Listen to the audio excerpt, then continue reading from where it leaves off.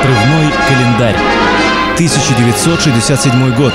В год 50-летия Октябрьской революции некоторые улицы получили новые названия.